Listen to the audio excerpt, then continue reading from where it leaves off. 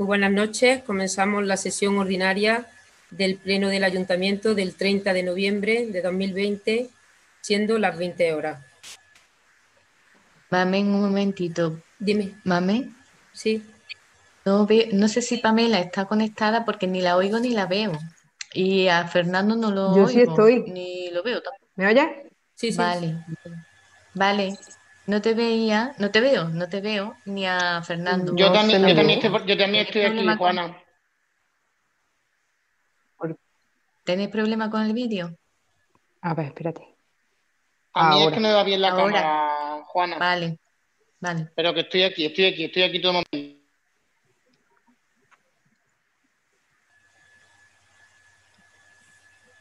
Mm, Juana, ¿seguimos?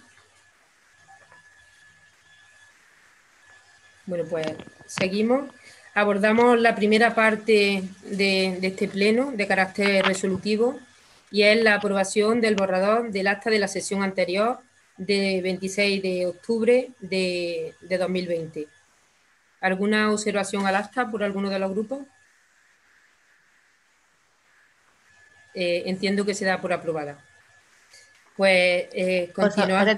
ah, Perdona, Juana, eh, que estoy. eh, es que quiero, quiero oír o escuchar la votación, a- al Ah, vale, menos. ¿Vale? Los portavoces. Carlos, tú empieza. Mm, Sí. A favor. Vale. Vale. A favor, a favor de, del Ateneo, ninguna objeción. Vale. Pues continuamos con el segundo punto. Aprobación de la cuenta general de 2019 e informe de intervención. Como ya estuvimos viendo en la comisión informativa y como saben ustedes, la cuenta general recoge la gestión y ejecución tanto económica como patrimonial de, de 2019 a través de, de varios documentos como el balance, la cuenta de resultados económicos y patrimonial, el estado, total de cambio de patrimonio, etcétera. Bueno, son una serie de documentos que, que están a disposición de, de todos ustedes. Y bueno, con este, este documento se llevó a la Comisión de Cuentas, estuvo expuesta 15 días más 8, que es el, el periodo legal, y no hubo reclamaciones a la misma. Pues por lo que, que lo que procede hoy es su aprobación. Si hay alguna palabra por alguno de los grupos, señor Peláez. Señor Sánchez. Sí, ¿se oye? Sí, sí. Eh, entiendo que no ha habido intervención del Partido Popular, es que no lo he oído un momentillo. No, no, Carlos ha dicho que no. Vale. Eh, bueno, como bien has dicho, bueno, en primer lugar, eh, como puede ser otra forma, felicitar a la, a la nueva mamá. En este sentido, yo creo que trasladarle y si ser posible que costen hasta la felicitación, yo creo que aquí sí vamos a coincidir todos esa felicitación y bueno, deseando que, que se haya, haya ido todo perfectamente, ¿no? Eh, en lo que respecta al punto de la aprobación de la cuenta general del 2019. Bueno, ya nos hemos manifestado, eh, como bien ha dicho, en la Comisión Especial de Cuentas, donde se dictamina, se da cuenta de, de todo el balance del presupuesto, la ejecución del mismo del 2019, pero lo hemos manifestado en más de una ocasión. Es decir, el año 2019 fue bastante caótico en cuanto a gestión municipal.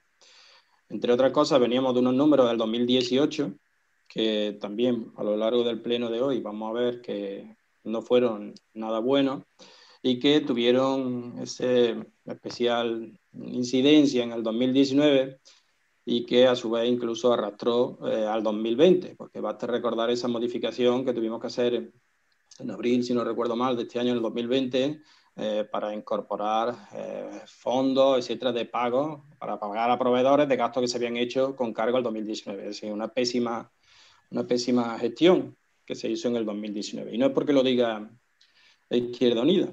Eh, yo creo que en el informe de gestión, eh, informe de intervención, perdón, que acompaña a la cuenta general, pues yo mm, durante todos estos años que llevo en el pleno de la Corporación Municipal del Carpio he visto pocos informes en este sentido.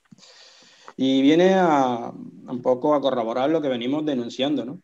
Eh, en este informe que emite la secretaria interventora, pues habla en su apartado tercero de conclusiones y recomendaciones habla en primer lugar de la relación de los contratos menores, es decir, que los contratos menores sistemáticamente, no solamente en el 2019, sino a lo largo del 2020, siguen sin planificarse, siguen sin hacer la licitación correspondiente. Hay contratos que tú sabes que van a ocurrir, ¿no? Eh, por ejemplo, el tema de suministro de papel, el tema de suministro telefónico, el tema, todo aquello que te está haciendo, que no tienen contratos eh, largos o incluso también que hay que hacerlo anualmente, como el tema de telefonía, incluso el tema de seguro, etcétera, etcétera, que no se hacen. Pero no solamente no se hicieron en el 2019, sino que siguen en el 2020 sin hacerse. Y lo deja bastante claro, como digo, el informe de la Secretaría de Intervención.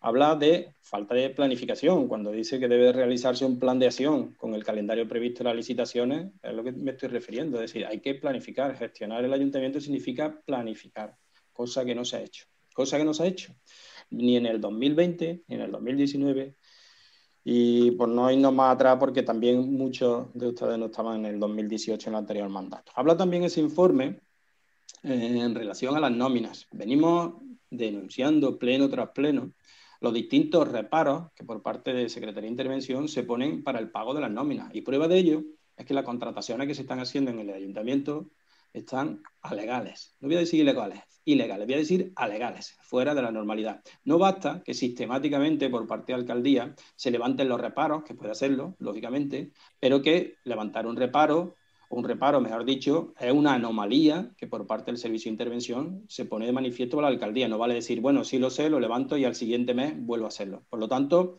hay que tomar medidas en este sentido.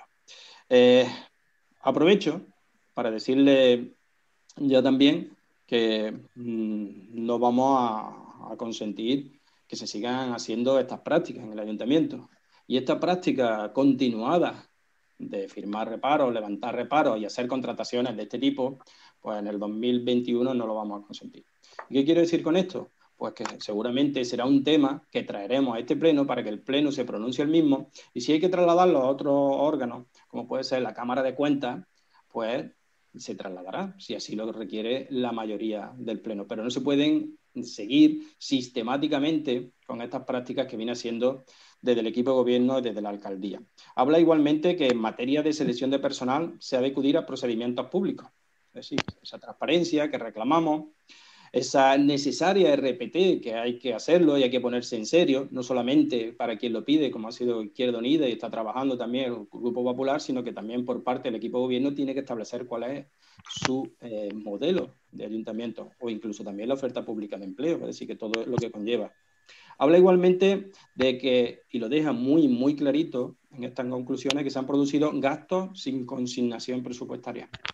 Recuerdo que en el 2019 se gastaron más de 400.000 euros del ayuntamiento con cargo al presupuesto del 2020. Y ese es a lo que me refiero, ese eh, reconocimiento extrajudicial de crédito, porque si no, no iban a cobrar eh, los proveedores locales, fundamentalmente, cualquier empresa, pero fundamentalmente proveedores locales. Pero son prácticas no habituales. Gastarse 400.000 euros más de lo presupuestado es una práctica eh, no solamente para informes contradictorios, sino mm, que rayan, rayan totalmente la, ilegalidad en este, en este sentido. Por lo tanto, en la cuenta general, si bien, como ha dicho, el hecho de votar a favor o en contra de la misma no supone aceptar directamente esa gestión que ha hecho el equipo de gobierno durante este tiempo, eh, nosotros no vamos a apoyarla. Nuestro voto en este sentido va a ser la abstención, podríamos votar en contra, pero entendemos que eh, hay que rendir cuentas como tal y no podemos estar dejando de, aprobar en este sentido. Con los votos del equipo de gobierno, incluso también, parece ser, según se comentó en la comisión por parte del Grupo Popular, pues van a salir adelante la cuenta general. Como digo, que no supone la aceptación de esa gestión que se ha hecho durante el 2019 y 2018, porque aunque estemos hablando de la cuenta del 2019, al tener un presupuesto prorrogado, era un calco prácticamente, incluso peor a peor del 2018, como digo, y no vamos, no vamos a ser cómplices de, esa, de esta situación económica, de esa mala praxis y esa mala gestión que se ha venido haciendo en el 2019 y que, por desgracia, se ha repetido en el 2020. Por lo tanto, nuestro voto en este punto va a ser de abstención. Eh, bueno, muchas gracias, señor Sánchez. Pues nada, desde el Grupo Socialista respetamos su, su opinión, pero el punto que nos ocupa no se trata de la evaluación del equipo, la gestión del equipo de gobierno, simplemente la aprobación de la cuenta general de 2019 e informe de intervención. Por tanto, pasamos a votación y por el PP, el señor Peláez. A favor. Por Izquierda Unida. Atención. Por el PSOE a favor. Pasamos al tercer, al tercer punto del orden del día. Acuerdo suplemento de crédito número 2 para dar cumplimiento al artículo 12.5 de la Ley Orgánica de Estabilidad Presupuestaria y Sostenibilidad Financiera y amortizar la, deuda pendiente. Bueno, en 2018 hubo más ingresos de los presupuestados y con ese exceso de, de ingresos el Ministerio de Hacienda obliga a que se aplique a la amortización de deuda correspondiente a los dos préstamos que actualmente existe en la corporación, por un importe total de 297.606,79 euros. El incremento del gasto propuesto se financiará mediante el remanente de tesorería y es importante su aprobación porque así evitaríamos sanciones y daríamos cumplimiento al objetivo de estabilidad presupuestaria y sostenibilidad financiera de las administraciones públicas. Eh, dicho esto, eh, si hay alguna palabra por alguno de los grupos, por el PP. Eh, sí, nos parece estupendo, como ya dijimos, que se salden las deudas. Creo que es fundamental que encontrarnos con un ayuntamiento sin deuda, pero que ahora ya no hay excusa eh, de no hay dinero, ahora no hay deuda y se puede trabajar y aprovechar el dinero que hay en cada partida para, para gastarlo e invertirlo en lo que, en lo que haga falta. Eh, también ahora creemos que es el momento de empezar ya a trabajar, eh, sobre todo para descongestionar algunas zonas del, del ayuntamiento que van, que, que están un poco estancadas y que, y que el trabajo pues, mm, se ve un poco mermado. Eh, nos hemos encontrado también en este, en este mes problemas a la hora de- del cobro de las nóminas de los trabajadores, y porque hay ciertas áreas que, como digo, estaban estancadas. Y también veo mm, fundamental empezar ya a trabajar lo- los presupuestos, que, que ya van un poco tarde. Eh, muchas gracias, señor Peláez. Eh, señor Sánchez. Sí, gracias, señora alcaldesa. Eh, bueno, yo No, no, discrepo no. usted. Bueno, accidental, alcaldesa Eso, eso. accidental. Alcaldesa accidental. Usted preside, o presidenta. Eh, yo discrepo, eh, señora alcaldesa, en este sentido, usted lo que ha hecho la cuenta general. La cuenta general es el reflejo de su gestión económica, lógicamente, anteriormente. Y, y todo eso tiene influencia. Y en lo que hoy traemos, en este punto, pues como decía, vuelve a tener influencia. El presupuesto 2019 fue prorroga- prorrogado del 2018, con todo lo que tenía el 2018. Y en el 2018 ya era un presupuesto que no estaba bien acondicionado. Y generó superávit. Y usted va a decir, bueno, es que generar superávit es bueno. No, no, generar superávit no es bueno. Generar el superávit se genera porque, por muchos motivos. Y uno de ellos, fundamental por el que se ha generado el superávit en este ayuntamiento, es porque ha habido más ingresos que gastos. ¿Y sabe usted por qué había más ingresos que gastos? Porque la carga fiscal que soportaban los carpeños y las carpeñas era desorbitada. Y eso generaba más ingresos. Lo que ocurre es que con las reglas de gasto, etcétera, etcétera, el techo de gasto no podían gastarlo. No podían gastarlo, excepto los 400.000 euros que se gastaron eh, en el 2019 más. Es decir, que aún así ustedes bordeaban también todas toda estas reglas.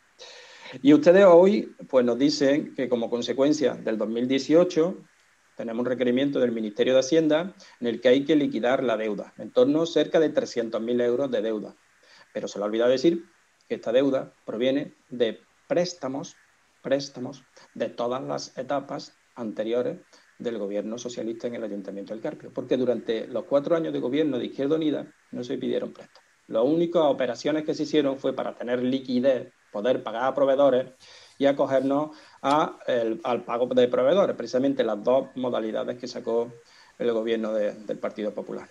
Por lo tanto, son préstamos igualmente, porque ustedes anteriormente, afortunadamente, ya no se puede hacer tenían la práctica habitual todos los años, de siempre a final de año, noviembre, hacer eh, pedir un préstamo en vez de pedir una operación de tesorería para tener liquidez y acabar el año. Pedían un préstamo, un préstamo a 15, 20, etcétera, etcétera.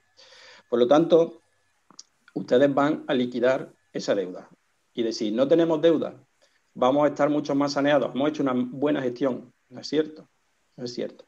Un ayuntamiento, una entidad local, eh, pida préstamos, se endeude para hacer proyectos de interés para el municipio y proyectos eh, que redunden en, beneficio de todos los carpeños y las carpeñas, pues nosotros lo apoyamos, lógicamente. Es que eso tiene que ser dentro, lógicamente, de sus posibilidades. Ocurre igual que una casa. Es decir, si tú te quieres hacer una casa o te tienes que comprar el coche o quieres invertir en un negocio, tú tienes que pedir un préstamo. Pues igualmente lo puede hacer una administración local, como un ayuntamiento. Otra cosa es que lo, lo pide el préstamo pues, para hacer eh, cuestiones de gasto corriente que muchas, muchas veces, muchas, en multitud de casos, como digo, se difuminaban y se hacía para eh, operaciones de tesorería encubierta y se hacía pues para gastos, festejos y de todos esos festejos grandilocuentes que nos tenían acostumbrados otras épocas del gobierno socialista. Que ustedes en, algunas ocasiones pues también les gusta, les gusta recurrir a ella. En este sentido, como digo, 300.000 euros que hay que amortizar. Y es verdad que se hace a través del remanente de tesorería para gastos generales. Y usted debe saber igualmente que el remanente proviene, remanente acumulado, que se va haciendo a lo largo también de la gestión diaria, de, perdón, anual de los diferentes presupuestos. En este sentido, en este sentido creo que nos dan la razón cuando Izquierda Unida propuso esa revisión de las ordenanzas fiscales y hacer eh, bajar eh, la fiscalidad que estaban sometidas, como digo, los carpeños y las carpeñas. Porque si seguimos teniendo más ingresos que gastos, tendremos superávit. Tendremos superávit igualmente si no son capaces de ejecutar aquellas partidas presupuestarias que ustedes hacen esa previsión en el presupuesto. Esperemos que en el presupuesto 2021 pues, sea mucho más realista y mucho más fiable de lo que ha sido en el 2020, pero que si no se sientan a hablar con la oposición, se sientan a buscar un presupuesto y unos números de ingresos y gastos que sean acordes con la realidad de nuestro municipio, pues volveremos a entrar en, esta, en estas discrepancias. Nosotros en este sentido, pues nuestro voto da igual como sea. La verdad que es un requerimiento que hace el Ministerio de Hacienda, lógicamente nos vamos a poner eh, en peligro todavía incluso a someternos a una sanción por parte del Ministerio porque se vote en contra, no lo apruebe el Pleno, no le vamos a dar esa, esa opción para que ustedes se escuden de, esta forma en esta opción. Nosotros vamos a votar a favor, pero sí manifestando, como lo he hecho a lo largo de mi intervención, en esa forma de gestión, esa forma de planificar, o yo diría de falta de planificación que vienen haciendo a lo largo de todas estas anualidades. Por lo tanto, aprovecho para insistirle, como ha hecho también el señor Peláez, que con tiempo, con tiempo se planifica, se hacen los números, los dos grupos de la oposición le han manifestado ya en más de una ocasión nuestra disponibilidad, pero estamos ya mañana, es diciembre, eh, seguimos, seguimos sin tener un más mínimo esbozo, lo que es el borrador de presupuesto. No vale escudarse en que no tenemos personal, etcétera, etcétera, porque si no tenemos personal, los números grandes y las líneas estratégicas de un presupuesto no lo hacen los administrativos, lo hacen los políticos, y para eso están ustedes ahí gobernando. Eh, bueno, muchísimas gracias, señor Sánchez. Otra vez vuelve a, mostrar un poco su opinión personal. la nuestra difiere muchísimo de lo que en realidad ha pasado, pero bueno, eh, pasamos a la votación de este punto número 3. Eh, Perdón un segundillo, señora alcaldesa. no, una opinión, no una opinión personal. Yo hablo como portavoz de mi grupo y la opinión, lógicamente, del grupo. Vale, pues la opinión. Vale, vale. Lógico, el, no voto yo por todo. No, no, perfecto, perfecto. Pero que es una opinión. Solo esa matización. Vale, vale, pero que es una opinión. Una, no una matización, lógicamente, una matización que le quería hacer. Vale, vale, vale. Bien, no, pero no deja de ser una opinión. Eh, pasamos a la votación eh, del punto número 3, acuerdo de suplemento de crédito número 2 para dar cumplimiento al artículo 12. Señor Peláez. A favor. Señor Sánchez. A favor. El PSOE a favor. Eh, pasamos al punto número 4, acuerdo de declaración de utilidad pública o interés social y excepción de las condiciones particulares de implantación de la explotación de ganado caprino de leche en el polígono 6, parcela 218. Bueno, pues que mm, por lo que vimos en la Comisión de Asuntos eh, Generales, es un, expediente que, viene ya de largo y bueno, eh, hay un informe favorable del SAU eh, donde dice que, este expediente el ayuntamiento debe declarar la utilidad pública e interés social, deberá asimismo valorar la procedencia de la aplicación del artículo 43 de las normas subsidiarias de planeamiento municipal y complementaria en suelo no urbanizable de la provincia de Córdoba, que contiene la siguiente previsión, eh, haciendo un resumen, podrá eximirse el cumplimiento de las condiciones particulares de implantación y edificación siempre que quede justificado y asegurado en caso el carácter aislado de la instalación o edificación y que no existe la posibilidad de formación de núcleo de, población en el lugar. Como he dicho antes, los servicios técnicos valoran positivamente la procedencia de, la aplicación de este eximente, que en todo caso debe ser recogido en el acuerdo de este pleno. Eh, pues si hay alguna palabra por alguno de los grupos. Señor Peláez.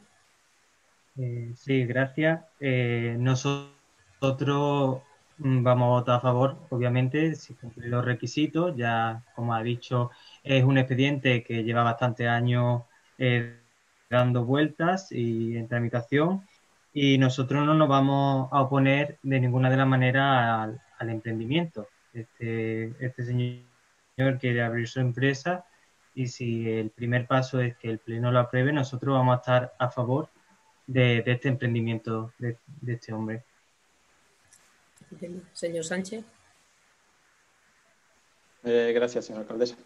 Eh, yo creo, y tengo que decir, en primer lugar, que vamos a votar a favor del mismo, ya lo dijimos en la comisión informativa, ¿no? Pero yo quiero tener un reconocimiento público por la paciencia que ha tenido este vecino durante todos estos años en el que no se ha escuchado en el ayuntamiento y que no ha conseguido todas esas negativas sistemáticas que se daban o no atención por parte del ayuntamiento para no desistir en este proyecto. Es decir, que los tiempos que, estamos, que una persona de nuestro municipio quiera emprender y no se le pongan nada más que trabas de todo tipo o incluso no se le escuche como merece para cualquier actividad, pero en este caso, como digo, un vecino también con, con mucho interés en montar esta, esta explotación e incluso para que crezca también esta explotación.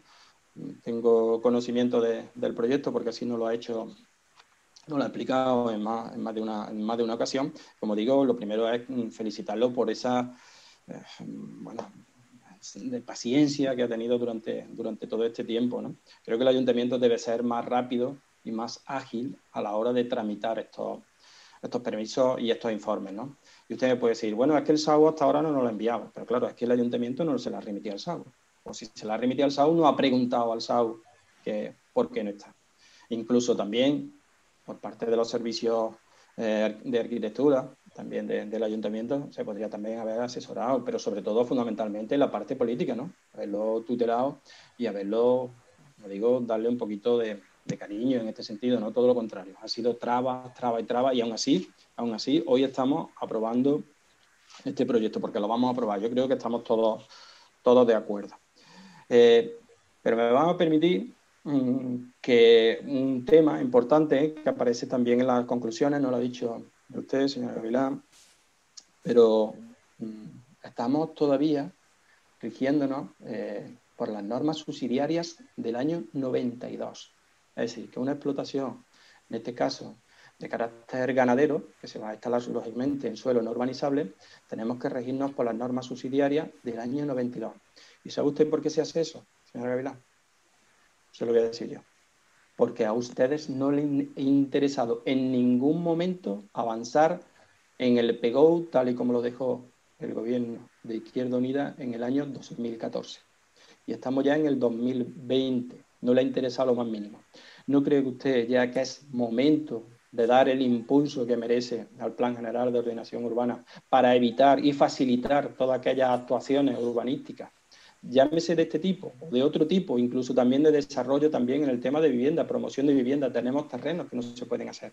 Está todo paralizado, no han hecho absolutamente nada. Se escudan en informes que faltan, se lo pedimos por activa y por pasiva, nos siguen dando largas, pero en, el- en diciembre, que como digo, mañana empieza, del 2020, seguimos con el Plan General de Ordenación Urbana paralizado en el mismo estado, prácticamente igual que lo dejó el gobierno de Izquierda Unida. Y tenemos que regirnos por una normativa del año 92. Todo eso paraliza, ralentiza y como digo, pues mm, yo no sé cómo emprendedores como este vecino del Carpio no, no ha desistido.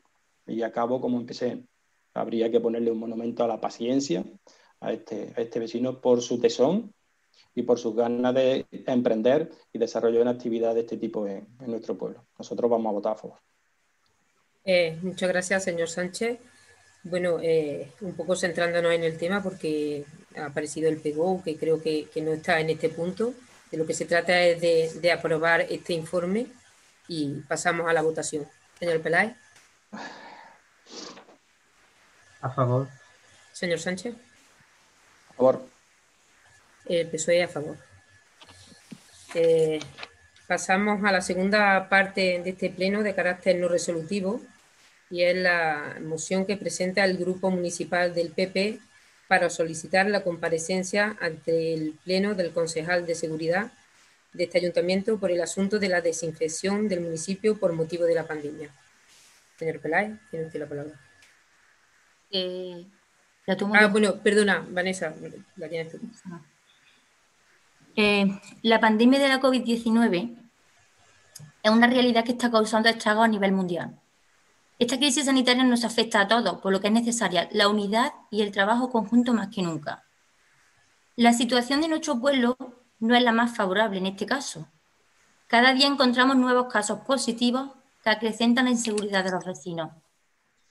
El ayuntamiento debe trabajar y tomar decisiones para que los vecinos salvaguarden su salud e integridad y hacer que cumplan la ley y las indicaciones marcadas por las instituciones responsables. Vivimos una etapa complicada en la que se deben garantizar la seguridad por parte de las instituciones. Es por ello que tras los hechos acontecidos el pasado 17 de noviembre, en la que, por desgracia, tenemos que lamentar la pérdida de un vecino, numerosas fueron las quejas que nos transmitieron los vecinos en materia de desinfección y de seguridad. Tras varias llamadas, hicieron varias, bastantes, solicitando la limpieza y desinfección de la zona afectada, no se les ofrecía una solución o explicación razonable. Afirman sentirse inseguros y desamparados ante la negativa rotunda del concejal delegado de seguridad a desinfectar la zona afectada. La reacción de nuestros vecinos fue la incredulidad, estimando como fundamental y necesaria la labor en dicha zona, más aún siendo un foco señalado de contagio. También señalan que en las mismas circunstancias, en otras ocasiones, los vecinos también han encontrado una negativa o ciertas reticencias para el desinfecta- de- desinfectado. Es por ello que el Grupo Municipal del Partido Popular del Carpio propone los siguientes acuerdos. Primero, que comparezca ante el Pleno el señor concejal delegado de Seguridad, don Francisco Javier Cobos Amate, para dar explicación de su negativa a las labores de desinfección. Y segundo, que se incrementen estas labores de desinfección, sobre todo cuando ocurra algún caso de esta índole. Estimamos este acto como fundamental y esencial debido a la situación de crisis que estamos viviendo. Eh, muchas gracias, señora Mariscal. Eh, bueno, de- como sabemos, la comparecencia del señor Cobos pues, será en el pleno siguiente y bueno, nos parece un poco bochornoso que se ponga en tela de juicio la labor que, ha- que hacen y realizan eh, Protección Civil, pero bueno, ya eh, argumentará en el siguiente pleno. Muchas gracias. ¿Puedo, puedo- puedo hablar? Sí, sí. Yo me parece que a usted le parezca bochornoso, pero es que esto es lo que los ciudadanos nos han contado. Entonces usted está diciendo que los ciudadanos nos han engañado. Yo no creo que se tenga que poner en duda lo que los ciudadanos no- nos comentan. No lo estamos diciendo nosotros, el Partido Popular, lo están diciendo nuestros ciudadanos. Y lamentablemente, lamentablemente, lo sabemos todos, que eh, el Carpio eh, tema COVID estamos un poquito y que ya hay cuatro muertos. No creo que, porque ya todos sabemos, yo me meto la primera como ciudadana, que todo el mundo estamos un poco, pues, a ver, ¿cómo, cómo te explico? Estamos un poco nerviosos, ¿no? Estamos un poco inquietos eh, y no creo que, bueno, como tiene que comparecer, prefiero que mejor lo explique, pero usted está poniendo en duda lo que los ciudadanos, lo que nuestros carpeños nos han dicho. Yo creo que por ahí no, ¿eh? Eh, yo en ningún momento estoy poniendo en duda eh, en tela de juicio, no, en, te- en bochornoso que ustedes, los miembros de- del Grupo Popular, pongan en tela de juicio. Eh, No, señora, no, pero- señora Mariscal, estoy hablando yo, Sí, por sí, favor, yo la he dejado que, que hable usted. Perfecto, perfecto, siga. Eh, me parece un poco bochornoso, la verdad, pero porque tienen una trayectoria desde marzo hasta ahora que yo, yo creo que es intachable. Lo, se lo digo de primera mano, que muchas veces los vecinos llaman eh, de comunidades de vecinos pidiendo que se les desinfecten las zonas comunes eh, este ayuntamiento. Yo creo que, el ayuntamiento puede desinfectar las zonas públicas, evidentemente, pero zonas comunes de comunidades, eh, yo creo que no, que eso le corresponde a cada comunidad. Pero bueno, el señor Cobos comparecerá y argumentará su postura. Mm, Señora, señora alcaldesa, no estamos hablando de zonas comunes, estamos hablando que hubo un muerto y se le pidieron a los ciudadanos que desinfectaran. Eso es lo único que está- de lo que estamos hablando. ¿Usted le parecerá bochornoso? A mí no me parece bochornoso. Esto es una realidad que ha pasado y como una realidad que ha pasado, pues tendremos que, que- que- que nos explique, que nos explique qué Por qué supuesto, eh, tenemos que lamentar esas muertes y las lamentamos, por supuesto, pero bueno, Hombre, claro. eh, no se ponga usted nerviosa, eh, lo, No, lo no- argumentará. Yo no, estoy nerviosa. Vale, pues- cuando que si me pongo yo nerviosa. Bueno, eh, no- nerviosa esto no tiene cabida en este pleno. Muchas No, gracias. no, ninguna, ninguna. Pues nada, pasamos a eh, por Izquierda Unida y. Sí, Sí, claro. sí. Sí. es que habían establecido un diálogo que no es lo habitual en este pleno, que sí está, está, está bien, está bien que se haga, que se hable. Es importante. Y prueba de ello que es importante que es que mm, los grupos de la oposición tienen que pedir las comparecencias de los concejales para que expliquen su gestión, cuando tenía que ser lo contrario, es decir, un ejercicio de transparencia, en un ejercicio de democracia, lo más habitual, lo más normal, que sean los concejales. El problema es que cuando los grupos de la oposición trasladan preguntas y ruegos a los concejales, pues no hemos visto prácticamente ningún concejal o concejala de este ayuntamiento responder a las preguntas. Siempre asume ese papel la alcaldesa y, lógicamente, muchas veces obviando incluso hasta las propias preguntas, se lo olvidan. Se lo. Yo creo que es más fácil si yo dirijo una pregunta al concejal, en este caso, de, de protección civil o de seguridad, el responsable de protección civil y seguridad, que responda y por lo tanto responda a él, ¿no? En este sentido, lo digo porque tiene más detalle. Pero usted en este pleno, permítame, señora Gavilán, está haciendo apreciaciones muy subjetivas y está poniendo en boca, al menos mía, cosas que yo no he dicho. Y el, acabo de ver también una apreciación que usted ha sacado, siempre esa facilidad para echar balones fuera, y ha hablado de protección civil. ¿En qué momento, no sé, en qué parte me he perdido de la moción que hable de que se le exijan responsabilidades a protección civil? En absoluto. Yo creo que todos los que estamos aquí presentes, por lo menos por nuestra parte, estamos muy, muy agradecidos a esa labor que está haciendo protección civil. Muy agradecidos. Muy agradecidos. Pero que quien gestiona, coordina, planifica y decide, tiene que ser el equipo de gobierno. Tiene que ser para... Otra cosa es que ejecute protección civil porque así lo determinen, que me parece perfecto y lo digo, le agradecemos enormemente. Pero Protección Civil no lo ha dicho. Usted dice que le parece bochornoso que se cuestione la labor de Protección Civil, pero ¿quién ha dicho que se cuestione Protección Civil? Nadie lo ha dicho. Estamos cuestionando un tema que por parte del Partido Popular ha estimado que tiene que ser objeto de debate exclusivo y para eso pide la comparecencia del eh, señor Cobo como ya lo hicimos nosotros con el responsable de participación ciudadana. Si no nos dan las explicaciones pertinentes cuando lo hacemos ruegos y preguntas, tenemos que pedir una comparecencia, lógicamente. Y es un ejercicio de democracia, no se lo planteen como algo más allá de. Si se hiciera, se practicara la democracia y la transparencia, vuelvo a repetir, mensualmente en estos plenos, pues seguramente estaríamos muchísimo más informados. Eh, y de verdad, no tergiverse lo que yo digo. O usted puede hacer las matizaciones que haga, lo que quiera, no solamente eso, me dice, no se habla de pegó. Vamos a ver si es que en el, en el tema anterior señora Gavilán, estamos hablando de una modificación de un plan de actuación urbanística. Pues claro que hay que hablar de, todo lo que se corresponde con el urbanismo. Otra cosa que usted no entienda, que el PGU está relacionado con el urbanismo, ese es su problema. Ese es su problema, señora Gavilán. Y ahora estamos hablando de seguridad. Pues lógicamente hay que pedirle explicaciones al concejal de seguridad. De la misma forma, como digo, que cuando preguntamos, preguntamos y hacemos ruegos a cada uno de las concejales y concejales del equipo de gobierno, pues esperamos la respuesta de ellos que muchas veces, en la mayor parte de las veces, no viene.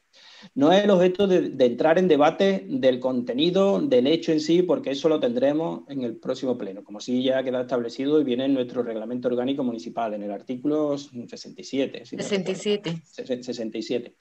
Lo he dicho bien. Eh, entonces, en este sentido, pues en el próximo pleno actuaremos de la misma forma que hemos hecho. Pues por Izquierda Unida, una vez que estudie el asunto eh, con detenimiento, planteará por escrito las preguntas al concejal para que las responda, en donde estimemos conveniente, donde haya que centrarla, como ya lo hicimos en la anterior comparecencia, y lógicamente eh, pues no nos vamos a negar en absoluto a que por parte del Partido Popular o cuando lo estimemos nosotros conveniente, pedir las comparecencias, como digo, de las concejales y concejales del equipo de gobierno, sobre todo porque, vuelvo a repetir, si existiese en este pleno transparencia y existiese disponibilidad y voluntad de dar información a la oposición, pues no sería necesario, no sería necesaria esta comparecencia. Como no ocurre, pues tendremos que, pedirle nuestro voto, lógicamente, a favor de la moción que presenta el Partido Popular de pedir la comparecencia del señor Cobo. Eh, muchas gracias, señor Sánchez. Eh, pues nada, es que lo que, lo que a mí me, me sorprende un poco es que para lo bueno, pues sí es protección civil y para lo malo es el señor Cobo, cuando protección civil está bajo las directrices, las directrices porque es su área de actuación, pero bueno, eh, pues nada, en el pleno que viene comparecerá el señor Cobo y dará las explicaciones pertinentes. Pasamos a... Mari eh, perdona. Tienes que pedir la votación, tienes que vale, todos los grupos, ¿vale? Pasamos a la votación por el PP. A favor. ¿Por Izquierda Unida? Por. Por el PSOE. Abstención. Pasamos al sexto punto. Proposición que presenta el Grupo Municipal de Izquierda Unida Andalucía con motivo del 25 de noviembre, Día Internacional contra la Violencia hacia las Mujeres. Eh, Tiene la palabra eh, Amparo. Vale. Bueno, pues eh, este año está siendo muy complicado por la crisis, social, económica y también añadimos pues la pandemia, el COVID-19, en que la situación se complica más en las desigualdades de género. Es urgente que se ponga en marcha la actuación de pacto de Estado contra la violencia de género. Por ello, proponemos la aprobación de estos acuerdos que creemos que son importantes.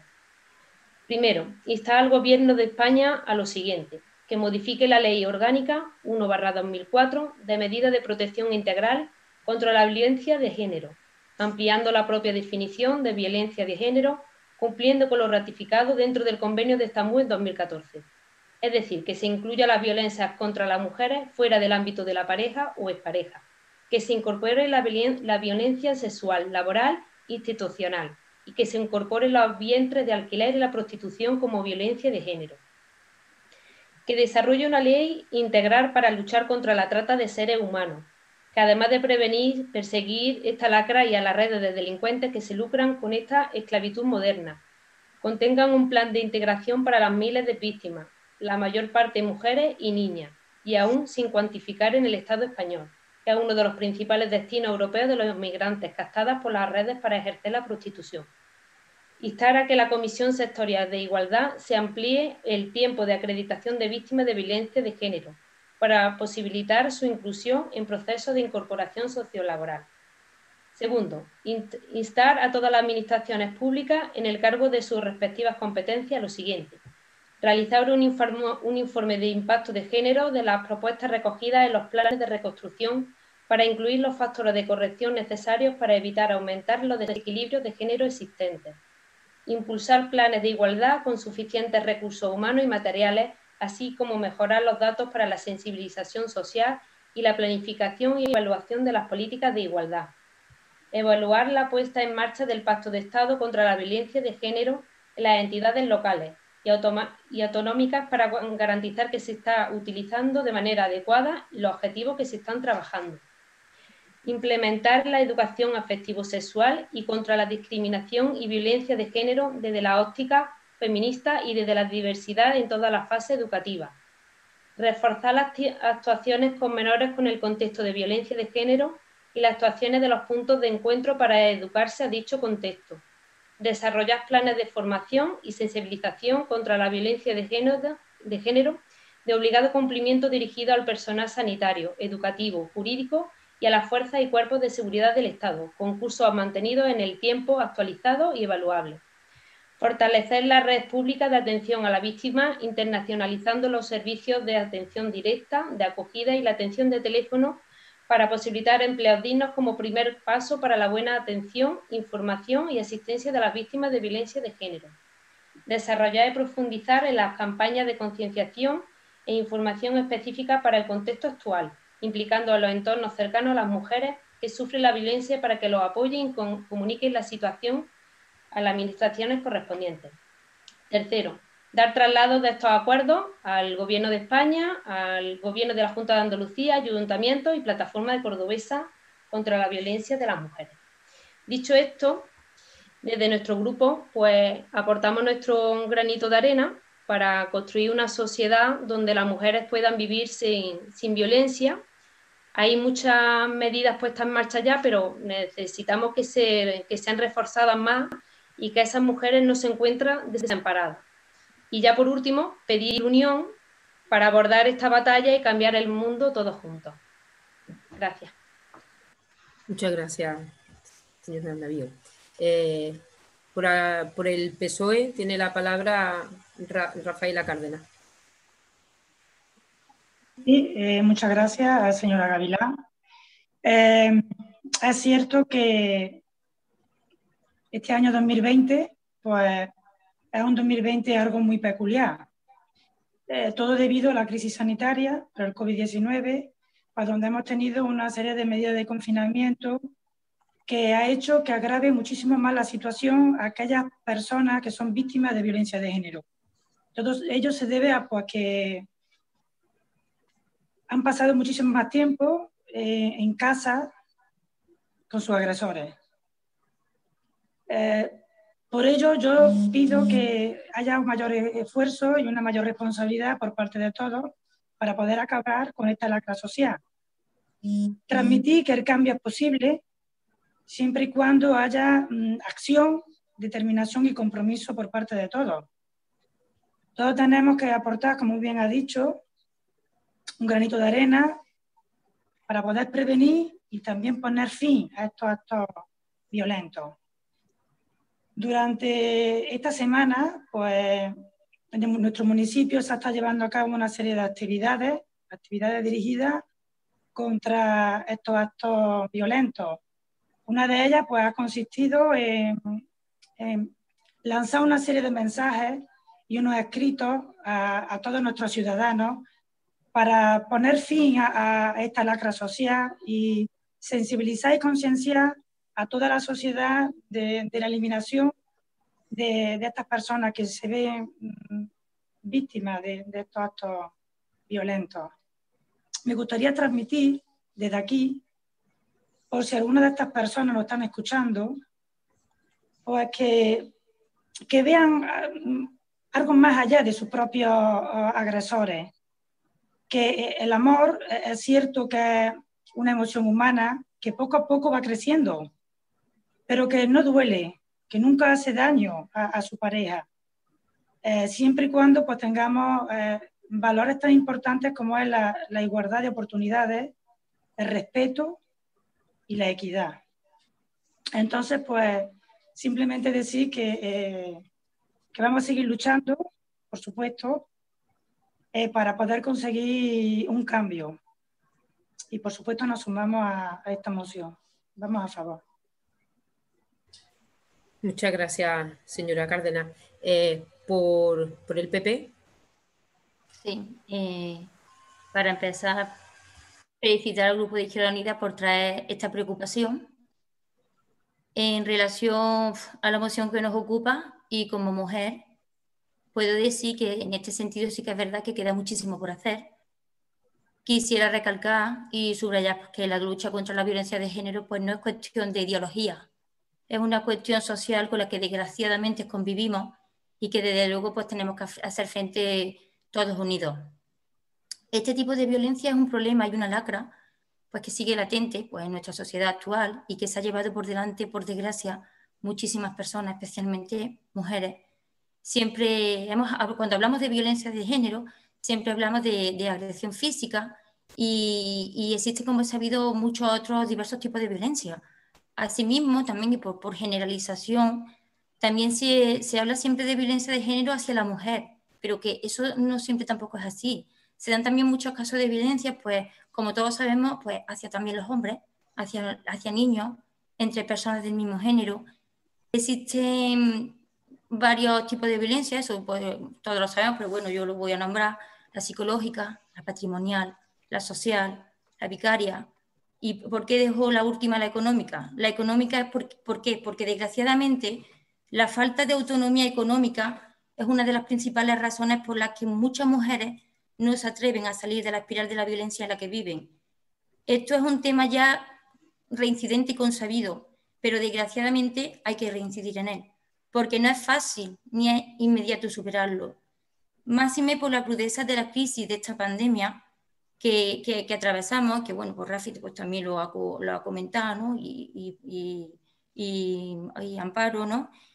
Eh, y también por la, por, la, por la, limitación, como hemos comentado antes, económica y cultural que, que en algunas zonas de nuestro territorio. La mujer, sin un trabajo pues, que le permita sostenerse y alimentar a su núcleo familiar, está muy mermada a tomar la decisión de romper con su agresor.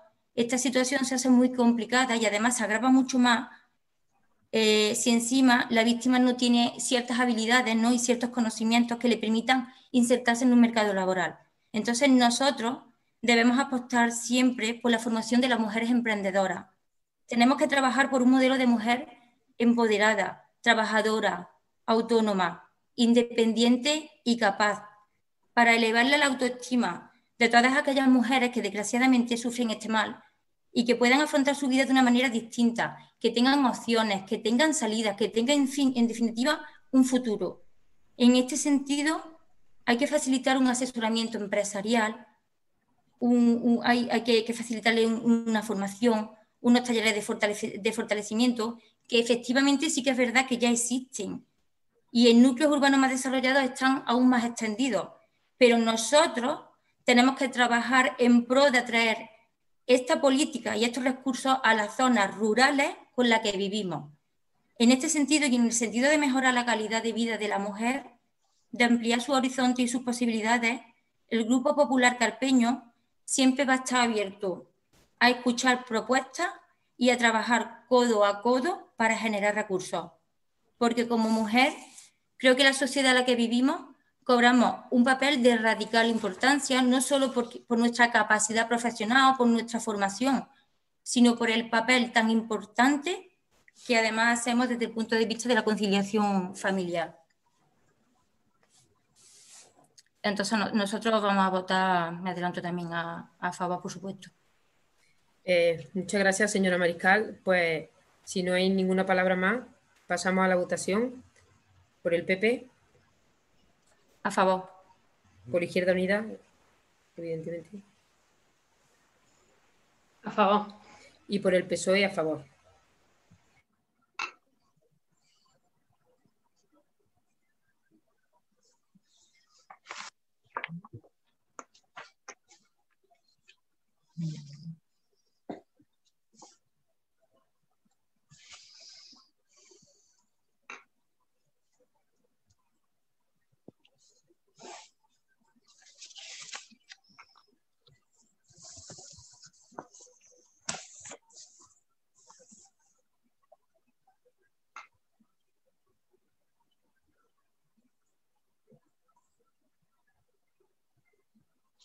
Ah, perdón, creo que no se me ha oído, ¿no?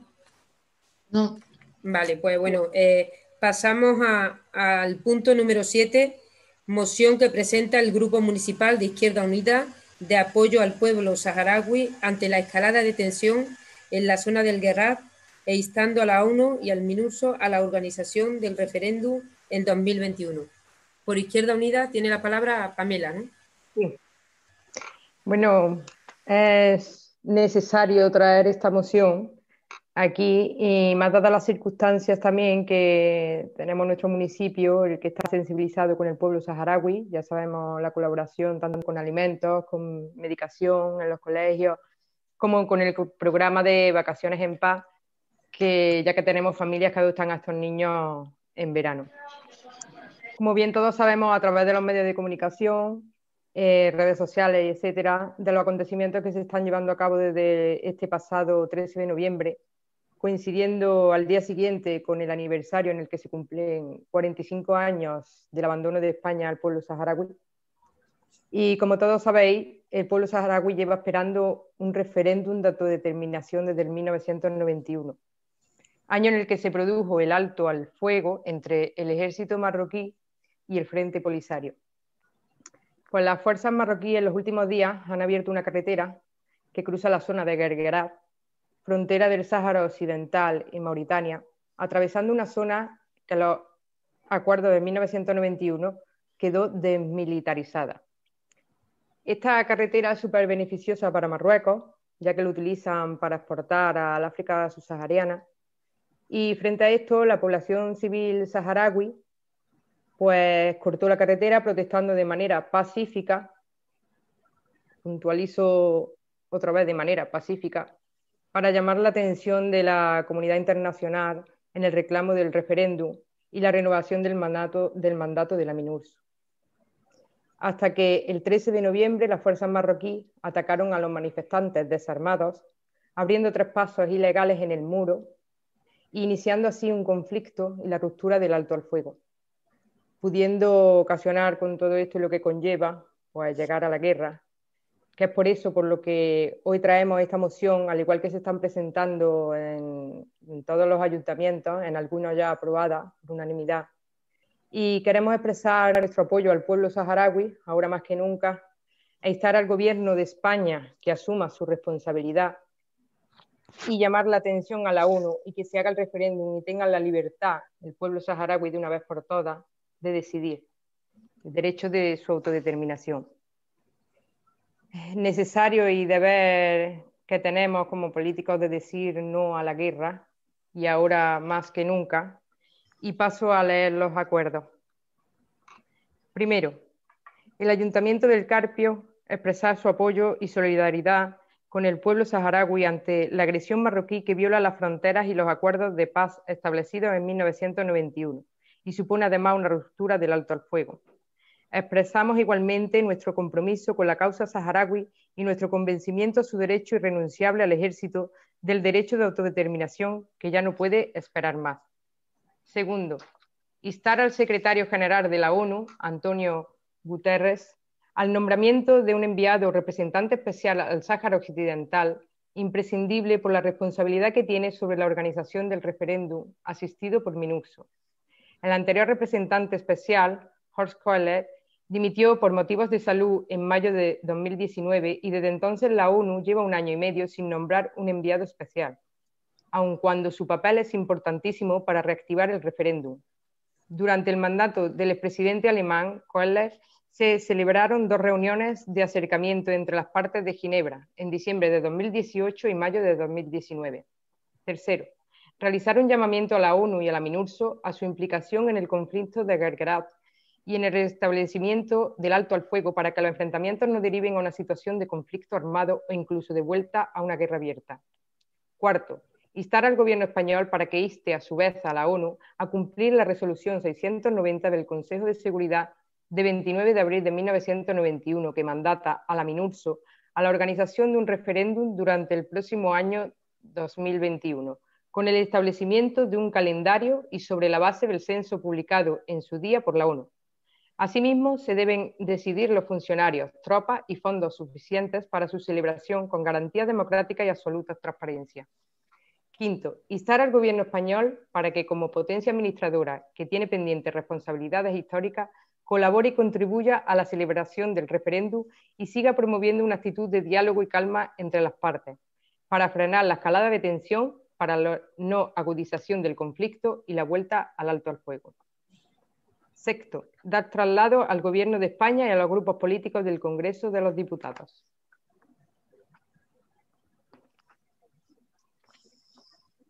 Muchísimas gracias, señora Sánchez. Eh, por el PP. Eh, sí, gracias. Eh, Pamela, me parece muy loable que traigáis esta moción, pero no creemos que sea el lugar. No entendemos que, se traiga esta moción a, a un pleno municipal eh, sí es verdad que eh, sabemos que España es la, potencia colonizadora del Sáhara. El Sáhara es, eh, una colonia española a, visión de la, ONU. Así lo dice cuando se, invalidaron los acuerdos de Madrid. Pero creemos que es competencia del gobierno de España, que el gobierno de España es quien tiene la competencia para decidir sobre este asunto y creo que su posición la ha dejado ya meridianamente clara. Eh, vemos que Carmen Calvo, la ministra de Exteriores, ya se han posicionado, han dicho que no, y esto ha provocado una, pelea en, el PSOE y en, Podemos, en, los grupos que forman el gobierno. Eh, entendemos que, se traiga, y vuelvo a repetir, creemos que no tenemos la, competencia eh, en este tema vuestro partido está en el gobierno. Si tenéis algún interés más, pues podéis hablar con, vuestro jefe, en este caso Pablo Iglesias. Ya digo, yo entiendo y agradezco que, se traiga esta, esta moción al Pleno, pero vuelvo a repetir otra vez, creemos que no tenemos las la, competencias, que nosotros no podemos solucionar nada, que es competencia del gobierno de España. Eh, entendemos desde Izquierda Unida que, la, labor y la buena intención con el pueblo saharaui y que por supuesto que, el Sahara tiene derecho a un referéndum. Nosotros no estamos en contra de ello. Eh, pero ya te digo, creo que no vamos a solucionar nada. Nosotros nos comprometimos a, que todas las mociones que se trajesen, que tuviese que ver con el pueblo, eh, del Carpio nos íbamos a, poner a favor, pero entendemos que nosotros aquí no solucionamos absolutamente nada y nuestra posición es, abstenernos. Ya, ya digo, eh, no creemos que podamos aportar nada y que la, competencia la tiene el gobierno de España, que es quien toma, quien toma la decisión. Eh, muchas gracias, señor Peláez. Por el PSOE tiene la palabra la señorita Cárdenas. Gracias, señora Gavilá. Bueno, nosotros ante esta situación, el PSOE siempre ha mostrado su compromiso con la cuestión del Sáhara Occidental, conflicto que lleva 40 años causando sufrimiento humano y, frenando la integración del Magreb. Eh, entonces, el Grupo Local del Carpio nos sumamos y, por supuesto, lo apoyamos apoyamos una solución política que sea justa, duradera y mutuamente aceptable del este conflicto, que prevea la libre determinación del pueblo saharaui a través del cumplimiento de las resoluciones de las Naciones Unidas.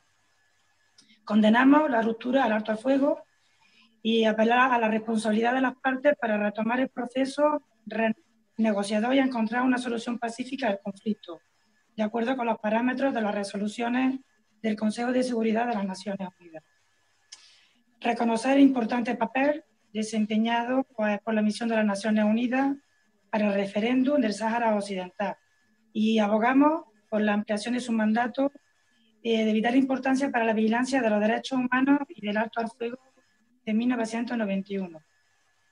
Creemos en la necesidad de que se nombre lo antes posible eh, un nuevo representante especial de las Naciones Unidas para el Sáhara Occidental.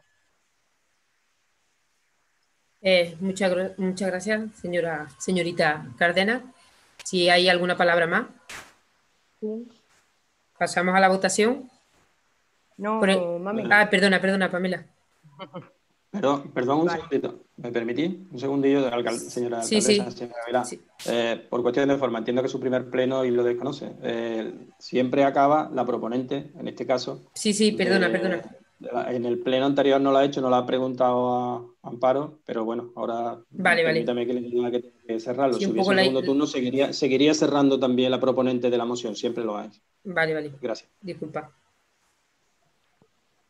Señora Sánchez. Bueno, pues responderle al señor Peláez, es una pena que, piense que no podemos hacer nada desde aquí, ya que se están citando todas las instituciones, todos los ayuntamientos. Ya van cinco ayuntamientos de la comarca aprobados, sus compañeros la han aprobado también, porque así lo ven conveniente y creo que es conveniente que se apruebe. No, aquí no estamos hablando de colores, está gobernando Podemos y el PSOE y le- estamos igual y le hacemos el llamamiento igual, sea quien sea, de los colores que sean, porque creemos que es necesario que no vaya a más y que se haga el referéndum y que se haga todo lo que se tiene que hacer antes de que derive a la guerra. Y decir que desde aquí no hacemos nada, pues bueno, aportamos nuestro grano de arena como bien podemos y como seguimos haciendo con multitud de casos y, y que creo que nos tenemos que juntar y unirnos, aunque tengamos nuestras diferencias, pero no veo, no sé su situación y el- por la que dice que no se puede llevar a cabo desde aquí. Pero bueno. Eh, muchas gracias, Pamela. Eh, pues nada. Perdón. ¿Puedo tomar por, por alusión? Vale. Señor Peláez. Eh, y eh, la cuestión eh, no es esa. Eh, si nosotros estamos eh, a favor de que haya un referéndum, simplemente creemos que una moción en un entorno municipal no va a llegar a nada y que la decisión la toma eh, el gobierno de España y creo que esa decisión está ya tomada. De hecho, eh, es el PSOE y Podemos quien, quien está en el gobierno y quien ha tomado la decisión. Hay que seguir insistiendo y llevar todas las medidas a cabo. Simplemente. Bueno, pues si os parece, lo, lo sometemos a votación por el PPE, Abstención. por Izquierda Unida A favor. y por el PSOE a favor.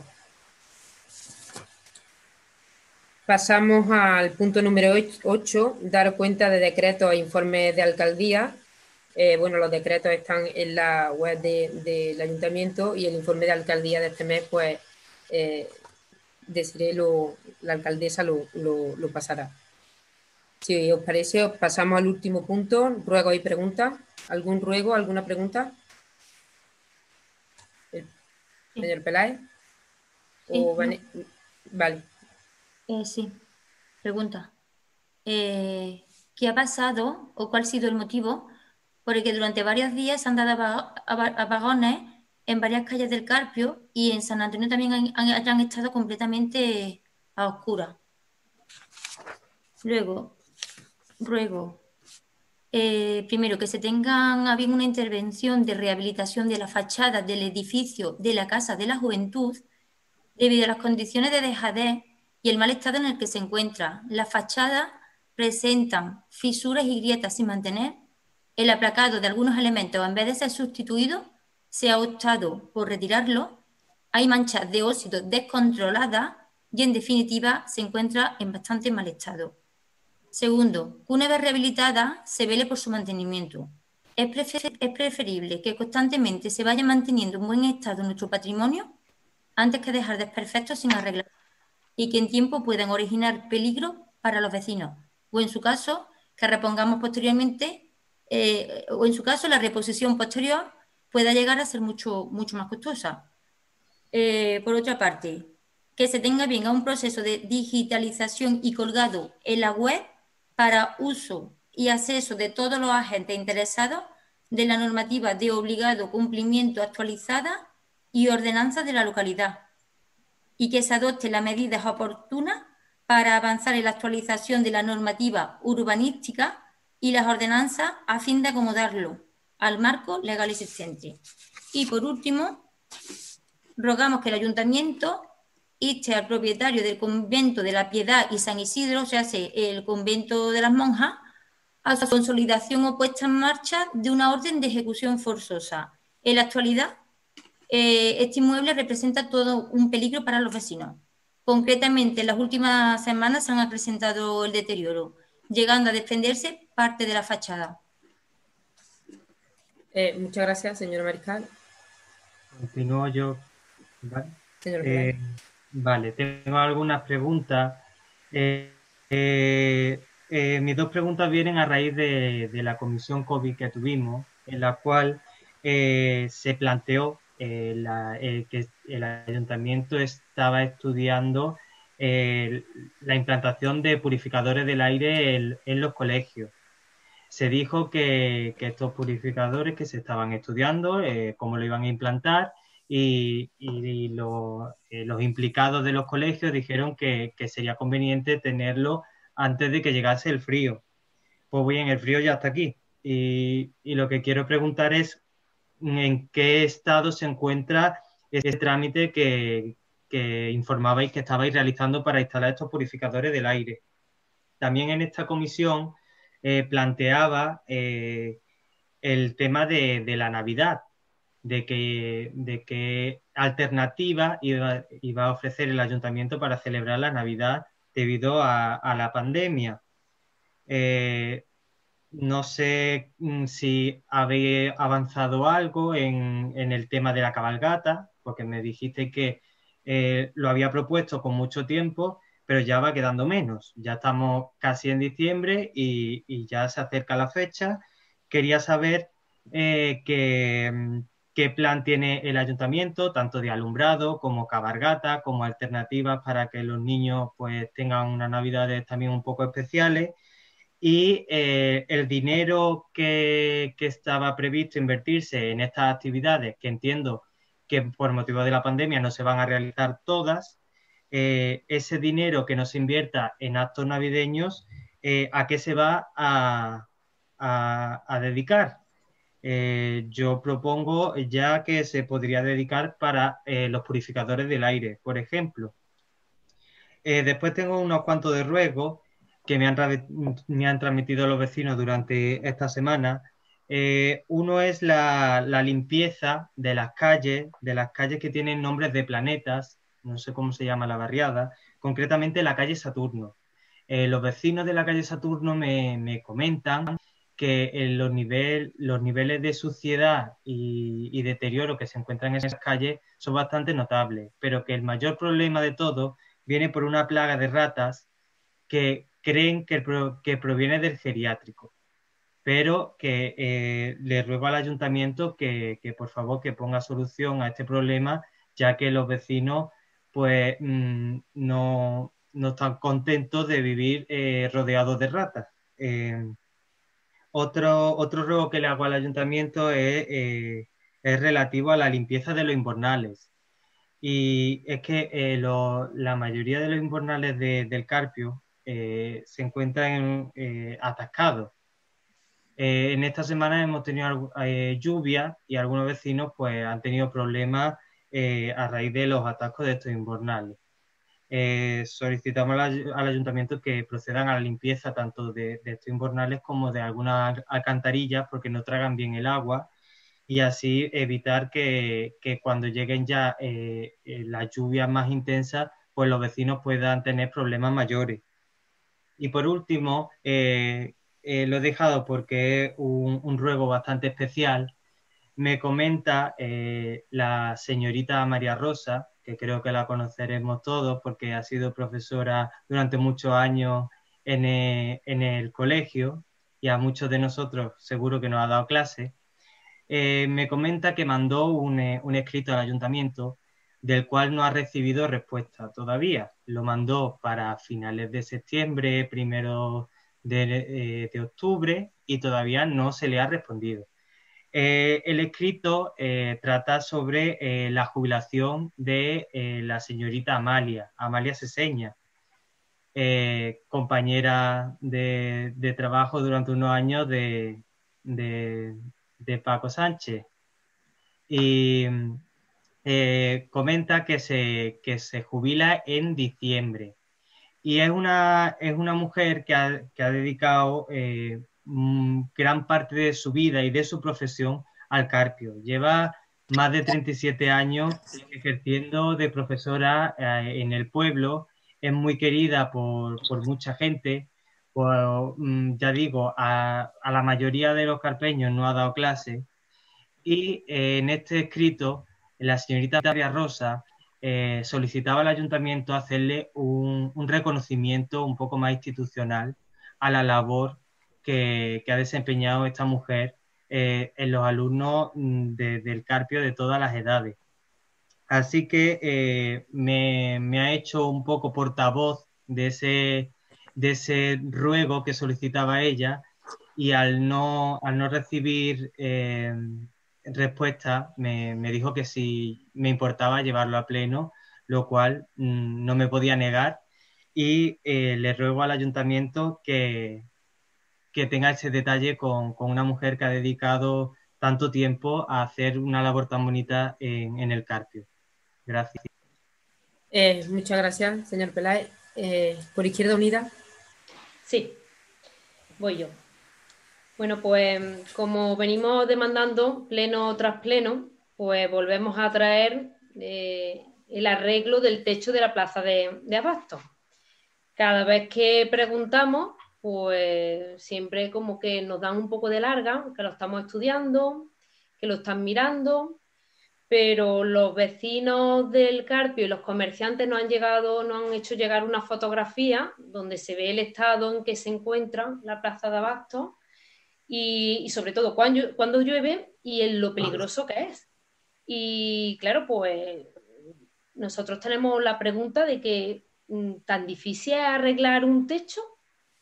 Llevamos un año desde que, bueno, yo empecé en febrero ya la primera presentación que hice de, esta pregunta y todavía a fechas que estamos no se ha arreglado. ¿Cuándo se piensa arreglar? ¿Para cuándo? La siguiente pregunta, o bueno, o, o, ruego, bueno, como lo queréis llamar, pues en el último pleno le pregunté a la señora alcaldesa que, no se estaba cuidando lo que es la colección de arte público. Y ella me contestó, su respuesta fue que, tenía que pedir permiso a, los artistas. Bueno, pues yo me he puesto en contacto con responsables de, algunas de las obras y me comentan que no se ha puesto nadie en contacto con ellos. Y es más, es una obra que ya terminadas, el, ayuntamiento eh, se tiene que hacer cargo de su mantenimiento y su cuidado para mantener esa obra, tanto las pintadas que se hicieron en las jornadas de Escarpia como el burro. Es más, me remito que, que esta obra en otras ocasiones se han arreglado, se han cuidado, se han pintado, incluso el burro pues, ha tenido algunos desperfectos y se han arreglado, porque ahora hay que pedir permiso. ¿Nos están dando también larga para no hacer e-, este, este arreglo? Bueno, y por último, pues volvemos también a traer a pleno que los vecinos de, del Carpio nos dicen que se nos están quejando que no hay mantenimiento ni de ninguno de nuestras calles. Y cuando le eh, la hay, hay un ruido por ahí. Nos comentan que siguen calles sin luces, farolas rotas con cristales que se están cayendo, falta de señales, reposición de señales. Y por otra parte nos comentan pues que la, los que son los carteles de las calles no se leen la, los nombres de las calles. Los repartidores van muchas veces a locas sin saber a qué calle tienen que ir. Entonces, eh, rogamos que, que esto se, se, arregle, que se ponga un poco de empeño en hacer la, las cosas y, y, porque se ve que están cabiendo mucha dejadez en este aspecto por el equipo de gobierno. No, no se está poniendo empeño en, en poner esos pequeños detalles, en arreglarlo. Gracias. Eh, muchas gracias. Eh, Kiko. Sí. sí. Eh, pues mira, quería hacer primero mención a la calle Tenería. Todos ya sabemos que se hizo un estudio geotécnico de la misma. No tenemos todavía ningunos resultados de ese estudio, ni qué planes, ni qué medidas de actuación se van a llevar a cabo. Más que nada porque yo creo que sería una obra, vamos, la primera obra la que habría que iniciar, o tomar una medida de actuación, porque está a la vista de que cada día va más y es exponencial el deterioro que tiene la calle. Y al final creo que vamos a acabar lamentando algún desastre por la pinta que tiene. No hace falta que recuerde que uno de los puntos por los cuales se aprobó los presupuestos pasados por parte de Izquierda Unida fue que por favor se le diese una solución a esa calle. Ahora, otro punto también que me gustaría, que bueno, eh, por lo que he podido ver, en la bolsa de trabajo habéis subido una serie de puestos, ¿no? De limpiadores, ordenanzas, etcétera. No quiero entrar dentro de lo que, digamos, llamáis vosotros baremación o qué características de baremación ponéis. Bueno, sí, me gustaría entrar en una que me contestase, porque me ha dejado un poquito de piedra. No sé exactamente. Si se fijan, ponen, leo textualmente, temporalidad un mes. En caso motivado debidamente por el órgano competente en materia de personal, podrá realizarse una prueba del contrato cuáles son los motivos por los que se puede coger y hacer una prueba del contrato. O sea, eso no viene especificado. Si es verdad que creo que tampoco me voy a meter mucho más en ello porque es que esto debería saltar y debería derivarse a pleno y en el pleno debería quizás de tratarse cuáles son los métodos de baremación y contar con todos los grupos políticos para decidir quién sí, quién no, o cómo sí o cómo no puede entrar en, en el ayuntamiento, aunque sea de forma temporal. Y luego, por último, es un ruego me gustaría saber cuándo se va a poner, por ejemplo, algún tipo de contenedor para lo que es materiales como bombillas, pilas, etcétera, que evidentemente tienen que ir a un contenedor especial por la, alta capacidad que tienen de contaminación. Gracias. Muchas gracias. Eh, ¿Alguna palabra más? Sí, señor Ah. Perdón. Voy yo, ¿vale? Ah, vale, vale. Bueno, en, el pleno anterior, referente, le hicimos referencia sobre el mal estado de las calles de la barriada del Pilar, y lo cual nos dijeron que se iban a poner testigos para ver el movimiento del terreno y no se ha cometido ninguna actuación. Eh, también la problemática de los vecinos referente a sus casas, que también lo comenté hace ya, me parece, dos plenos, creo que fue así. Y también nos gustaría saber cómo se está gestionando y nuevamente pedir el estudio geotécnico que se supone que tiene que estar con el proyecto de obra que se hizo en su momento. Y sobre todo darle mayor prioridad porque, bueno, la preocupación de los vecinos y sobre todo que, que por lo menos alguien del ayuntamiento vaya a esas casas y vea en la situación que se encuentran.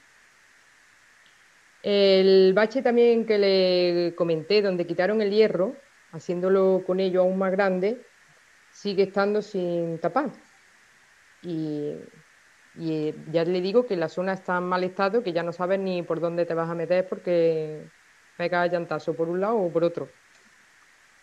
También hay farolas rotas en esta misma zona. Y, y también nos gustaría que, bueno, que se llevase a cabo el arreglo de todo lo que le pedimos pleno tras pleno, que siguen siendo siempre las mismas cosas. Eh, muchas gracias, señor Sánchez. Sí, gracias, señora eh, bueno, en primer lugar, una, cuestión, no quería interrumpir anteriormente.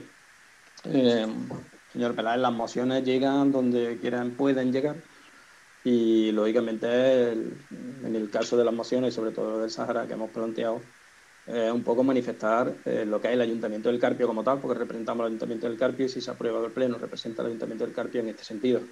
Mm, yo entiendo y, respeto la opinión, pero le recuerdo que su grupo presentó una moción en el que hablaba de interpelar al presidente del gobierno por la formación del gobierno de coalición. Si si desde el ayuntamiento tenemos capacidad para eso, pues seguramente a lo mejor tendremos también la misma, ¿no? Influir también en el tema del Sahara. Y luego otra cuestión, si me permitan.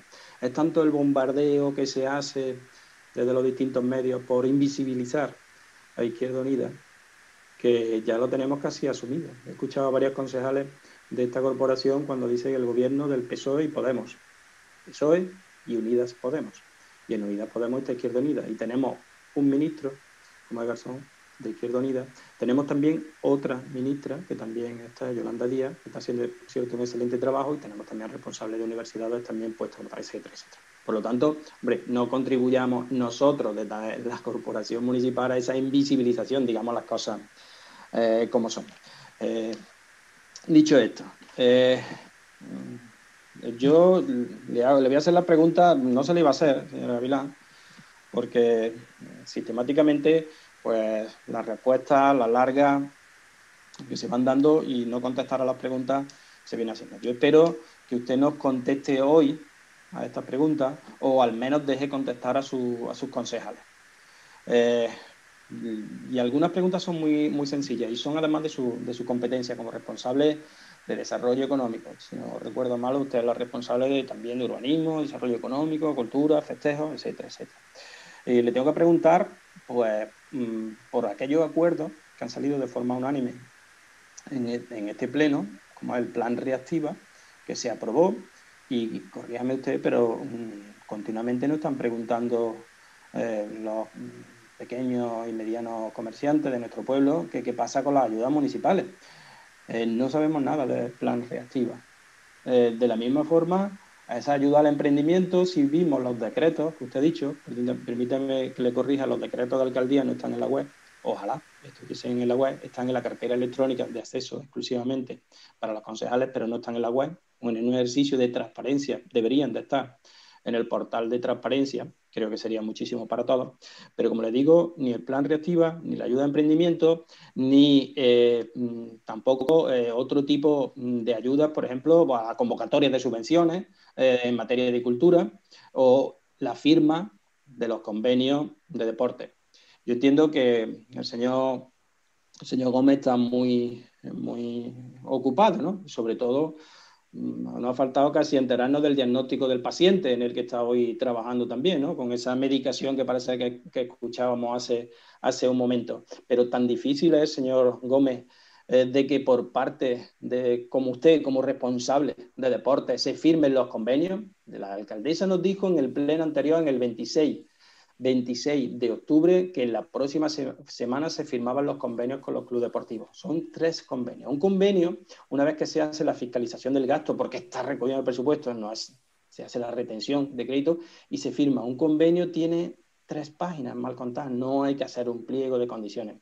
No lo hacen ustedes porque no quieren y se lo digo claramente. No es porque no sepa, sino porque no quieren, que es peor. Porque si se desconoce, se puede aprender, se pide información, se asesora, etcétera, etcétera. Pero el, convenio lo hace. Lo único que tienen que establecer es la cantidad que está aprobada en este pleno. ¿Por qué no firman los convenios con los clubes deportivos de una vez?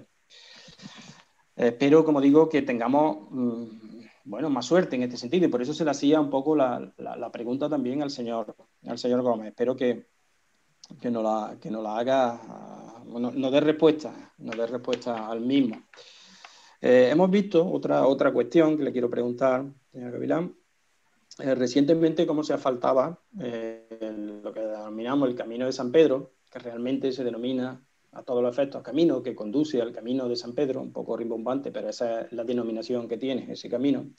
se ha hecho un, un, asfaltado a través de una subvención de Diputación del Plan de Inversión, Reposición y Mejora de Camino de titularidad municipal, gracias a Diputación, lo repito, y gracias a que está ahí Diputación, porque si no, las, inversiones en nuestro municipio iban a ser bastante, bastante escasitas, escasitas sobre todo porque se destinan recursos, como hemos visto a lo largo del pleno de hoy, económicos a otras cuestiones que no son las inversiones, a generar riqueza y empleo en nuestro pueblo. Pero lo que voy, en el camino de San Pedro me refiero al asfaltado. ¿Y por qué me refiero al asfaltado? Que nos parece estupendamente que se haga en ese camino, como en cualquier otro como en cualquier otro. Pero mi pregunta va también como, como responsable de urbanismo. Hay también otra subvención de Diputación, curiosamente, de nuevo, Diputación, en lo que se refiere al plan de aldea, en el que también es eh, el asfaltado de la parte de la entrada, ronda sur, no sé si ronda este o este, no, no, no nos lo han dicho con detalle cuando le hemos ido preguntando, que también es el asfaltado. Usted sabe perfectamente, o debería de saber, que gran parte del presupuesto cuando se hace una obra de este tipo es el transporte de la maquinaria. ¿No podían ustedes haber planificado y haber hecho las dos actuaciones en el mismo, en el mismo momento, si un día y uno y otro, porque el transporte ya lo hubieran hecho y ahora vamos a tener que traer otra vez la máquina y eso lógicamente hay que pagarlo. ¿Por qué digo esto? Porque si se hubiese hecho, se hubiese planificado, pues seguramente tendríamos más metros para poder asfaltar. Como ustedes no lo prevén, no lo planifican y van siempre a salto de mata, pues se va a quedar seguramente el asfaltado en este caso de San Antonio, en esa parte de la entrada, como digo, pues seguramente eh, inacabada. Seguramente lo dejarán para otro plan o otra subvención de, diputación. Eh, otra cuestión, y lo digo porque la veo, la veo a diario, se lo pregunto, señora, señora Gavilán. Usted también lo vivió, este tema que le voy a plantear. ¿A quién le vamos a echar ahora la culpa de que no funcione la fuente de la glorieta de la venta? ¿A quién se la echamos? Se han tirado ustedes tres años echándole la culpa de lo mal, de lo mal que lo hizo el señor Sánchez cuando estaba de alcalde, que no funcionaba la fuente. Que no funcionaba la fuente, que se rompía. Se gastaron más de 10.000 euros en hacer la actuación que hicieron. Y la fuente no solo funciona, sino que está en un estado lamentable, lamentable. Un estado de verdina, óxido, dejadez y en la entrada a nuestro pueblo. ¿Qué tienen previsto hacer? ¿Cuál es el problema que tiene ahora la fuente? Porque ahora no podemos echarle la culpa al señor Sánchez. Ahora ya no se lo podemos hacer. Está bien que un año, dos, hasta tres, o hasta tres y medio, casi cuatro años, podemos echarle la culpa a la herencia recibida. Yo creo que ya han aprendido o deben de aprender, sobre todo cuando están dedicados en, o deben estar dedicados en cuerpo, en cuerpo y alma al ayuntamiento, porque entre otras, entre otras cosas cobran un sueldo del ayuntamiento, no lo olviden. Usted y la señora alcaldesa están liberados y cobran un sueldo mensual del ayuntamiento, hagan o no hagan. Por lo tanto, me gustaría que me respondiese a la cuestión que le digo de, la fuente. Una cuestión que nos preocupa y está muy relacionada con lo que han dicho mis compañeros. Empezamos a trabajar en las distintas comisiones, tanto en la comisión de la relación de puestos de trabajo, RPT, las ordenanzas fiscales, y en el pleno anterior se trajeron las modificaciones a las ordenanzas fiscales eh, que habían hecho eh, tanto el grupo de Izquierda Unida como con el Grupo Popular, con también algunas aportaciones del Grupo Socialista, pero el peso lo llevamos eh, los grupos de la oposición. Eh, y se aprobaron lo que se refería, todo era impuestos, IBI, impuestos a vehículos de tracción mecánica, etcétera, etcétera, impuestos de construcción y obras, etcétera. Pero se dejó pendiente el tema de tasas y precios públicos, que también son ordenanzas fiscales. A fecha de hoy no tenemos nada, la más mínima información de cuándo se van a retomar, porque dijimos que es tan importante hablar o bajar el, IBI en nuestro pueblo, como también abordar eh, la rebaja o, incluso la excepción de una tasa como es la ocupación del suelo, lo estamos diciendo, es decir, que tenemos que ayudar a nuestros bares, tenemos que ayudar a nuestros pequeños comerciantes, pero en aquellas actuaciones, como puede ser la exención de la tasa de por ocupación de vía pública, si no lo actuamos ya, pues lógicamente mm, van a entrar a prorrogarse desde el 1 de enero las mismas. Y usted me puede decir, bueno, luego se puede modificar, pero si la modificamos ahora muchísimo mejor, porque tenemos que entrar haciéndolo. Es decir, tenemos que volver a sentarnos. Y, es de verdad un poco penoso que sea la oposición quien tenga que estar marcándole al equipo de gobierno cómo debe de actuar. Tiene que tener iniciativa, tienen que tener proyectos políticos y tienen que tener presupuesto. Y no tienen absolutamente nada de eso, señora Gavilán. Por lo tanto, ¿cuándo vamos a seguir? No solamente la relación de puestos de trabajo, que ya le hemos dicho, y que quieren cargar y derivan todo el peso eh, en Izquierda Unida como proponente. Mm, díganos cuál es eh, su, ayuntamiento, la organización de su ayuntamiento. Díganos cuándo nos vamos a sentar para hablar de tasas y presos públicos. En lo que respecta a dejar asuntos sobre la mesa el Pleno ha dejado varios asuntos sobre la mesa, se ha debatido también en comisiones, incluso después, como digo, después del Pleno, dejar asuntos sobre la mesa. Dejar asuntos sobre la mesa no es dejarlos en el cajón del olvido. Y una vez más tenemos que empujarle para que actúen y para que hagan. ¿Y a qué me estoy refiriendo? Pues que en el último Pleno se dejó sobre la mesa, a petición de Izquierda Unida, eh, un convenio que presentaba eh, educación en lo que se refiere a la educación de adultos, el uso del espacio donde se imparte eh, docencia de educación de adultos y con el Ayuntamiento del Carpio. Y dijimos que había que negociar con educación unas condiciones más ventajosas para nuestro ayuntamiento. Dejarlo sobre la mesa no significa, como digo, dejarlo en el cajón. Dejarlo sobre la mesa significa volver a llamar a educación, sentarse con educación y negociar unas condiciones más ventajosas para nuestro ayuntamiento. ¿Se ha hecho algo? ¿Se hace algo cuando se dice dejar sobre la mesa? Porque de este tema me vuelvo al otro convenio del centro de salud.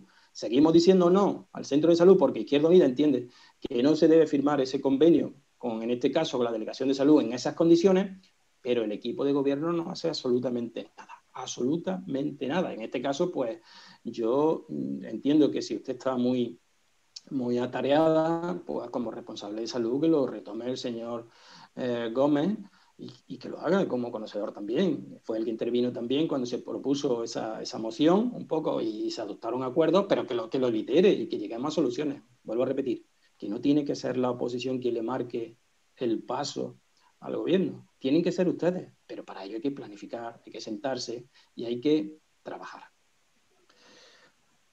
Otra cuestión, eh, señora, señora Gavilán.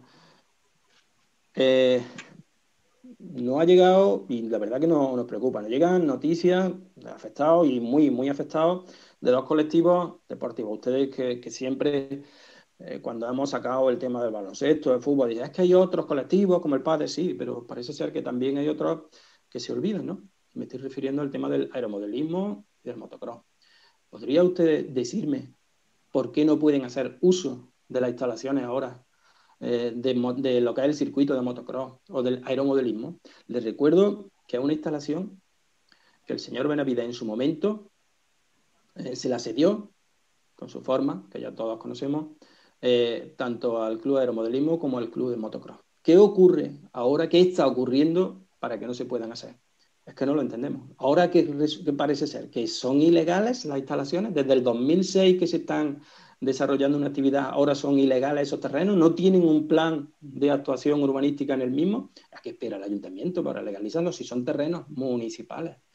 No le mande la pelota, los problemas a estos colectivos. Bastante están desarrollando una actividad y poniendo el nombre del carpio en el día a día y llevándolo fuera también. Tenemos eh, un, bueno, una afición al motocross y además tenemos un circuito que es la envidia, es la envidia en la provincia, porque ahora no se puede desarrollar el motocross. Tenemos un club de aeromodelismo con una historia que para sí lo quisieran muchos clubes, no solo de aeromodelismo, sino de cualquier otro deporte con esa trayectoria, que se nos olvida cuando hacemos homenaje a determinadas personas que están muy bien, pero también hay que vivir el presente y hay que hacerlo.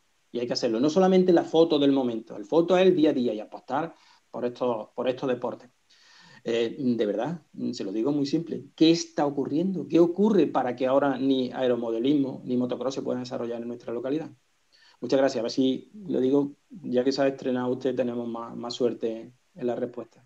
Muchas gracias. Eh, muchas gracias, señor Sánchez. Pues, eh, como así recoge el artículo 60 del funcionamiento de nuestro pleno, tanto ruegos como preguntas van a ser contestados en la sesión siguiente. Sin nada más, se levanta la sesión. Muchas gracias. Muy bien. Buenas noches. noches.